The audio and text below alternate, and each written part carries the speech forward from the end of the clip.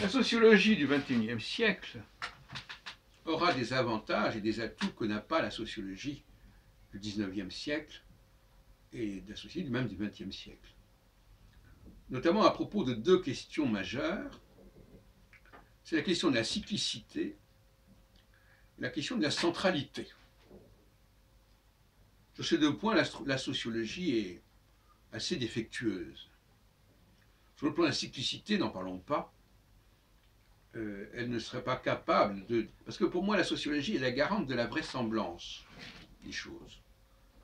Elle permet de corriger les délires de l'historien qui ne, ne se rend même pas compte de la véracité ou de l'invention de ce qu'on lui, de ce qu'il découvre, de ce qu'il peut lire. Et donc là, la, la, la, sociologie aurait une valeur critique.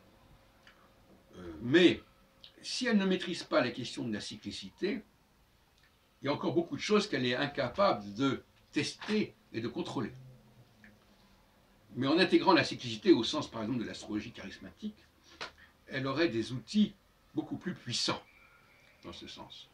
Et puis le deuxième défaut, c'est la question de la centralité.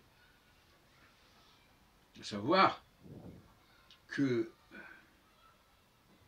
il faut un chef dans une société et un élément moteur et un élément central autour, duquel les choses gravitent. Et il ne semble pas, mais je me trompe peut-être, que, que, la sociologie actuelle ait pris la pleine mesure de cette question de la centralité, et donc par conséquent, elle n'a pas non plus la capacité à corriger certaines invraisemblances historiques, puisqu'elle n'a pas les repères voulus. Et donc quand Marc Bloch, par exemple, euh,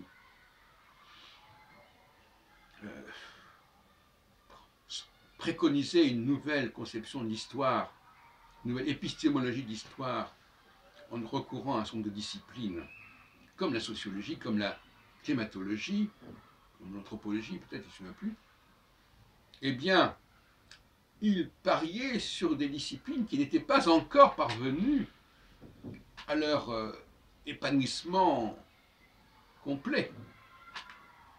Et des disciplines qui en sont encore dans leur balbutiement.